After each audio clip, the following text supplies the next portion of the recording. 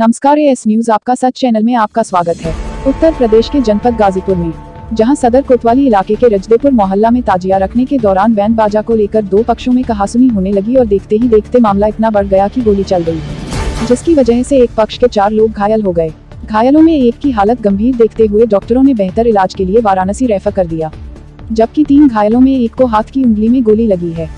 बाकी दो को छर्रा लगा हुआ है। वहीं घटना की जानकारी होते ही सबसे पहले कोतवाली पुलिस मौके पर पहुँच गई, जहाँ से सभी घायलों को जिला अस्पताल इलाज के लिए भेजवा दिया। घटना के कुछ ही देर बाद एसपी रोहन पी बोत्रे भी मौके पर पहुँच गए, जहाँ घटना के बाबत जानकारी ली।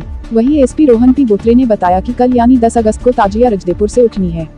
यहाँ पर दो पक्षों में बैंड को लेकर विवाद हुआ है, जिसमें गोली चली है, गोली से एक घायल हो गए हैं और कुछ लोगों को छर्रे लगे हैं।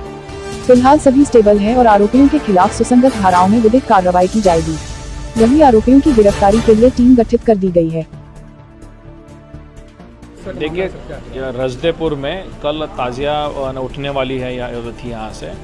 दो पक्षों के बीच में बैंड को लेके कुछ विवाद जो है वो हुआ है। एक व्यक्ति जिसका नाम शेरू है, उसने और कुछ अन्य लोगों ने जिसने शेरू को भड़काया था इन लोगों ने एक व्यक्ति के ऊपर फायर किया है। उस व्यक्ति को जो है अस्पताल रेफर किया गया है, उसकी हालत जो है वो स्टेबल है।